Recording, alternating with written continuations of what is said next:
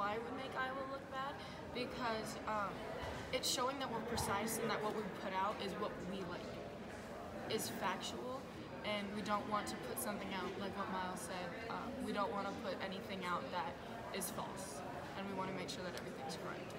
It's definitely frustrating um, because last night was my first time I was able to actually caucus in the state of Iowa, I expected more structure.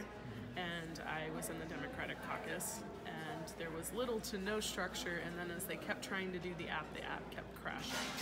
So I was very disappointed in the way that it came out.